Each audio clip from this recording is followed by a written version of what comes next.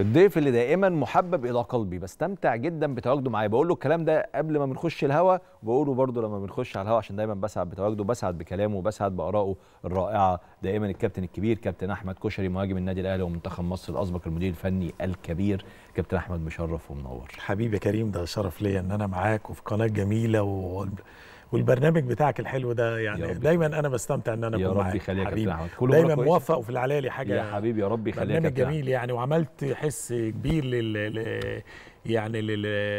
للبرنامج وقناة طبعا قناة رقم واحد في. مصر يعني طبعا شرف لينا طبعا شرف. ده التاريخ شرف. ده لا، لا، إحنا في. مكان التاريخ كمان طبعا الحمد طبعا لله طبعا طيب كابتن أحمد السؤال اللي بسأله لك كل ما بتبقى ضيف معايا ببقى نفسي وأنت جاي لي ضيف ال- ها أو مش نفسي متوقع بحكم الحال بحكم ال- الجودة الفنية اللي انت اشتغلت بيها مع كل الفرق اللي بتشتغل فيها يبقى أنا جاي بستضيف الكابتن احمد كشري المدير الفني لفريق فلان أو منتخب فلان.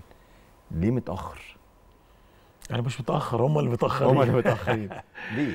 والله يا كريم أنا يعني يعني طول ما انت رجلك مش في الملعب ببقى مستغرب. والله ما لا ابص للأمانة أنا يعني الحمد لله آه في بترشح لأندية كتيرة وأندية كبيرة ويمكن أنت كنت عارف آه، موضوع المصري. أنا كنت مخلص في المصري وما حصلش نصيب ونادي كبير بحجم النادي المصري وفي أندية الحمد لله يعني آه، اسمي بيطرح هناك. لكن إحنا أنت عارف إن إحنا المجال في مصر برضو مش كل حاجة مش كل اللي شغالين آه. بإمكانياتهم. صح. خلينا نكون واقعيين إن في جزء كبير جدا جدا وللأسف يعني ده معطلنا في حاجات كتيرة. بيتدخل فيه حاجات خارج ال ال يعني العلاقات مثلا. مم. وحاجات أنا ما أعرفهاش. يعني بصراحة أحيانا بنشوف حاجات بنحس إن هي شاذة عن التفكير. يعني موضوع بس أقول لك حاجة يا كابتن أحمد لو ت... قول. يعني لو لا قول مني يعني. قول قول. أنا أنا شايف إن أنت برضو مقصر في دي. يعني ما أنا هقول لك حاجة.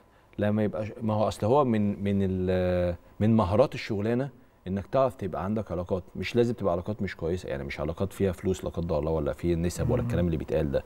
بس علاقات بإدارات علاقات بأندية علاقات بوكلاء يبدأوا يشتغلوا معاك هي فعلا أحيانا ما تبقاش بالكفاءة الفنية بس هي محتاجة كمان إنك تعرف تسوق نفسك أو لا الناس تبقى هو بتسوق بص أنا في المجال أكيد عندي علاقات طبعا. ويعني الوكلاء الموجودين كلهم يعني أكيد علاقتي بيهم. كويسة لأن أكيد هيتعامل معايا يعني لو هيحصل وقت لأن أنت عارف مجالنا ضيق يعني صح.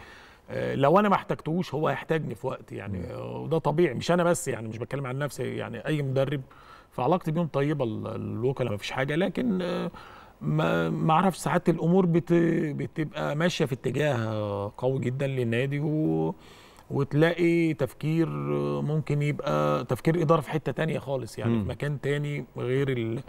طبعا كل الناس الموجودة ناس محترمة ومدربين كويسين جدا و وذو كفاءات كل لكن واحد له مهاراته الفنية آه يعني. لكن بعض الأندية يعني آه ساعات بتحطك في قالب وهي مش دريانة. يعني أنت مثلا آه يعني التجارب اللي, اللي اشتغلتها أنا كأحمد كشري مثلا كلها صعبة. أنا ما. فيش مدرب في مصر في مصر اشتغل التجارب بتاعتي مع احترامي ليهم كلهم.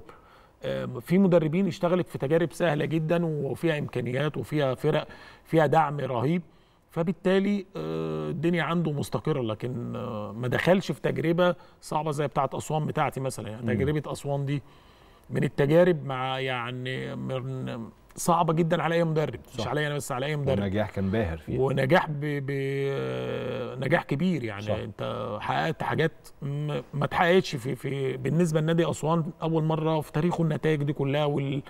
والأهداف وبعدين طلعت لعيبة كتير مم. ودخل للنادي فوق من 26 أو 28 مليون جنيه نادي أسوان لعيبة اتباعت بأرقام كبيرة لأن أجدنا كسبنا فرق كبيرة منهم نادي كبير بحجم نادي الزمالك وأندية كتيرة يعني كسبناه آه وعملنا موسم. جه برضو الموسم اللي بعده مع الإنتاج الحربي. رحت الإنتاج الحربي ما وضعه سيء جدا يعني ميت اكلينيكيا. كان الفريق بيهبط. قعدنا لحد آخر مباراة بنكسب فرق كبيرة وحيينا أنا أملنا فاكر أنا فاكر في الاستوديو التحليلية وقتها كنت موجود وكان أنا والمحللين الإنتاج الحربي فريق هابط كده كده خلاص الأمور بالنسبة له صعبة وجينا في الآخر في آخر المباريات ده الإنتاج هيعمل معجزة ده الإنتاج هي لا هي أنا شفت. أنا شفت في. الاستوديوهات آه. يعني الإخوة الأفاضل المحللين ومقدمين البرامج كانوا بيتكلموا علينا بيمدحونا بطريقة. لدرجة إن مرة الكابتن أيمن يونس قال لك يا جدعان حد يقول لي معقول الفرقة دي بالإمكانيات دي وبالكورة كنا بنعمل استحواذ على كل الفرق صحيح. وبنوصل للجون أكتر من كل وكنا بنكسب صحيح. كنا ماشيين كويس. وصلنا عارف أنت اللي إيه؟ آه خلقت لنفسك طموح وأمال. يعني اللعيبة أنا بصراحة مش هضحك عليك يعني. رحت في نادي اللعيبة م- ال- ما عندهمش أي طموح خلاص. يعني عارف آه خلاص هبط آه رامين الفوطة زي ما بيقولوا. لما تجدد أمالهم واللعيبة جم اللعيبة في الآخر وقفوا معايا في مرة قالوا يا كابتن إحنا ما كناش مصدقين إن إحنا ممكن يعني ننافس أو نقعد. جينا في آخر كام ماتش لأ إحنا كنا قريبين جدا. جدا جدا. يعني وبعدين يعني لأ الفترة اللي قعدتها معاهم آه، لأ بالنسبة لي أنا يعني أنا حققت في حاجات كتيرة إيجابية لكن صحيح. أنا مش مش ذنبي إن الفرقة قبل ما اخدها آه، واقعة خالص ما عندهاش بناط ما عندهاش طبعا طبعا. ولعبت عدد مباريات أكتر لأ أنا أتحاسب على الفترة اللي كنت فيها. صحيح. فرقتي كانت بتلعب كورة كان ليها شخصية كان ليها أسلوب آه لينا system آه طلعت لعيبة اتلمعوا آه راحوا أندية كويسة مصطفى البدري راح الأهلي آه الغنام راح فيوتشر علي سلامة راح فاركو خمس ست لعيبة في المحلة منهم حميد ماو وشوف أداؤه عامل إزاي مع المحلة هو ومعاذ الحناوي. آه لعيبة آه أما- مامادو نياس في المقاولين هو هداف المقاولين. لا اللعيبة يعني ظهرت معايا الحمد لله يمكن دي الناس بتقول عليا إن دايما اللعيبة معايا بت بتظهر وبطلع لعيبة. ودي بتيجي من إن أنا بعامل اللعيب رقم واحد إن هو بني آدم. صح. لازم أعامله لازم أعامله كويس. صح. عشان لما يغلط أقول له لأ. أنا صحيح. بحاز بعاملك كويس يبقى ساعة الخطأ في حق للنادي. مظبوط. فطبعا دي الحمد لله. لكن مش هضحك عليك. الفترة اللي فاتت في أندية كتيرة جت. آه، في أندية جات لي من من درجة القسم الثاني وبس أنا كنت بصراحة يعني رافض. أندية كتيرة جالي نادي في المغرب نادي وادي سريع زم اللي هو المغربي في الدوري الممتاز. بس يعني آه، كنت خلاص يعني على وشك أروح بس يعني لقيت في الآخر يعني آه، طلباتهم مش هت يعني آه، مش هقول لك هي مش مالية. المشكلة ما كانتش مالية. المشكلة إن كانوا عايزين أروح له أروح لوحدي. آه.